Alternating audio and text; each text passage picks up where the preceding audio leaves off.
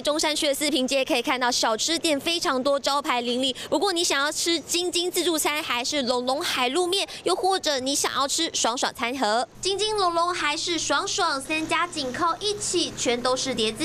哦，真的、哦、有注意过吗？没有。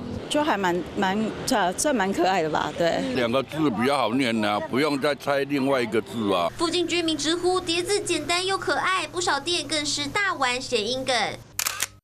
饮料店叫做茶字典，卖坚果的坚城吴三桂，童年回忆的可爱巧虎变成可爱巧古岛，还附上图片。星光山叶民宿谐音百货公司，有人直呼玩谐音，顺便练发音。还有早餐店用男团五五六六粉丝喊出的口号“五六不能亡”，叫做“五六不能亡”。网友看到直呼取名的绝对是乡民，中文玩不够，工程行用英文 follow me 谐音 follow me。有人看到或直呼还以为是整形社。Just do it 吧，为什么？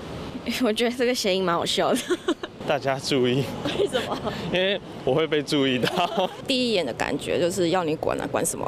有趣店名，它有记忆点，一看到让人会心而笑。只是印象深，不代表民众会买单。再有创意，品质还是比较重要。华视新闻张曲黄瑞玲台报道。